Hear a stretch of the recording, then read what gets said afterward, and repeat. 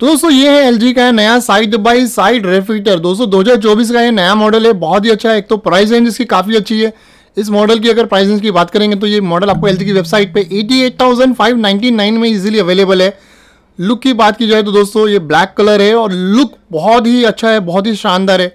इसके model number की बात की जाए तो इस फ्रिज का मॉडल नंबर है B two five seven H W B three और एक सबसे बड़ा एडवांटेज और है दोस्तों, इस साइड बाई साइड रेफ्रिजरेटर के अंदर, बहुत से लोगों को शिकायत ये रहती है कि इसमें इतना बड़ा फ्रीजर की हमें रिक्वायरमेंट नहीं है। तो एलजी के इस साइड बाय साइड रेफ्रिजरेटर का जो फ्रीजर है, आप इसके फ्रीजर को फ्रीज में भी कन्वर्ट कर सकते हो, यानी आप 100 परसेंट फ्रीज यूज़ कर सकते हो।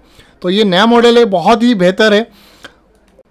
दोस्तों, किसी भी साइड बाई साइड रेफ्रिजरेटर में जो राइट साइड का पोर्शन होता है, वो होता है फ्रिज और लेफ़्ट साइड का जो पोर्शन है, वो है फ्रीजर अगर हम इस फ्रिज में पूरे अगर रेशियो की बात करें तो राइट साइड में मिलता है आपको 60 परसेंट फ्रिज और लेफ़्ट साइड में मिलता है आपको 40 परसेंट फ्रीजर यानी 60 और 40 का रेशियो है इसमें।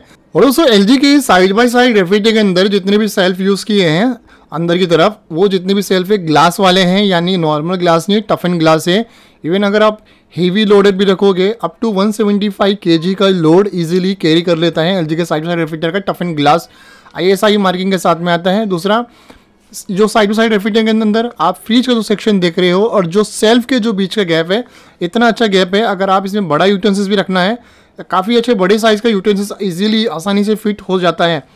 और नंबर ऑफ़ सेल की बात करेंगे तो नंबर ऑफ़ सेल भी आपको काफ़ी अच्छे खासे रह जाते हैं। आप काफ़ी अच्छी तरीके से इस साइड बाई साइड रेफ्रिजरेटर को आसानी से ऑर्गेनाइज कर सकते हो। दो वेजिटेबल बास्केट मिल जाते हैं जिसमें आप एक वेजिटेबल्स में रख सकते हो, एक में फ्रूट रख सकते हो। और वेजिटेबल एंड फ्रूट का बास्केट का जो साइज़ है वो भी काफ़ी अच्छा दिया है। अब फ्रीज़र की बात की जाए तो फ्रीज़र में आपको एक बास्केट मिल जाता है, बाकी नंबर ऑफ़ सेल्फ मिल जाते हैं जो भी आपको चीज़ें स्टफ़ करनी है तो स्टफ़ कर सकते हो।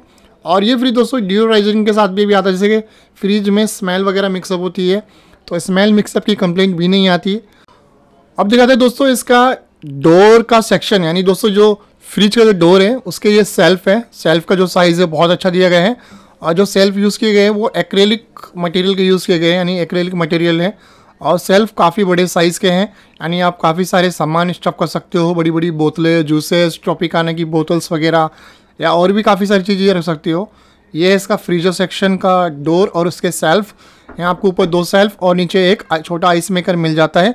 यहाँ आपको लिमिटेड आइस मेकर देखने को मिल जाता है। अगर आपको और एक्स्ट्रा और ज़्यादा आइस जमाना है तो अलग से आप आइस की ट्रे रख सकते हो फ्रीजर सेक्शन में। अगर आपको आइस वगैरह मैक वगैरह करना है।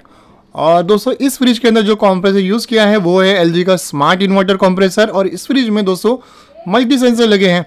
जैसे कि रूम का कितना टेम्परेचर है, बाहर की हीटिंग क्या है, और आप जो स्टफ़ कर रहे हो, उसके हिसाब से ऑटोमेटिकली अपनी कूलिंग ऑप्टोमाइज करता है, जिससे एनर्जी सेविंग ज़्यादा होती है।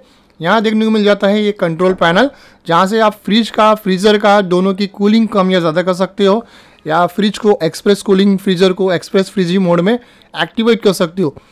और ये जो है पूरा water proof moisture proof panel है, जल्दी खराब भी नहीं होता है और लॉन्ग ड्यूरेबल पैनल दिया गया है इसके अंदर। दोस्तों, कोई भी साइड साइड रेफ्रिजरेटर खरीदने से पहले आपको अपने किचन का साइज़ चेक कर लेना चाहिए और साइड साइड रेफ्रिजरेटर का डायमेंशन भी ज़रूर चेक कर लेना चाहिए। ज़्यादातर साइड साइड रेफ्रिजरेटर का जो साइज़ आता है स्टैंडर्ड आता है।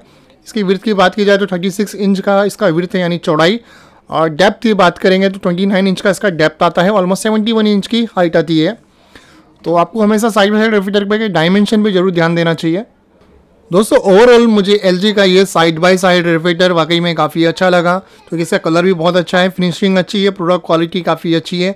और एलजी की आफ्टर सेल सर्विसिंग भी इजीली अवेलेबल है सर्विसिंग का भी कोई इशू नहीं है। दोस्तों एलजी का जो साइड बाई साइड रेफ्रिजरेटर है, उनका मॉडल नंबर और बाइंग लिंक मैं इस वीडियो के डिस्क्रिप्शन में दे दूँगा। जहाँ से आप मेरी दी गई लिंक से प्रोडक्ट बाई भी कर सकते हो या फिर प्राइस भी चेक कर सकते हो। दोस्तों, आपको LG का ये साइड बाई साइड रेफ्रिजरेटर कैसा लगा? प्लीज़ आपकी राय मुझे कमेंट बॉक्स में कमेंट करके ज़रूर बताना, मैं आपकी राय ज़रूर जानना चाहूँगा। और दोस्तों, अगर आपको अभी भी कुछ भी डाउट है क्वायरी है क्वेश्चन है कन्फ्यूज़न है तो आप मुझसे कमेंट बॉक्स में कमेंट करके पूछ सकते हो दोस्तों। तो मैक्सिमम लोगों को मैं रिप्लाई करता हूँ। दोस्तों, मिलते हैं नेक्स्ट वीडियो में। Thank you for watching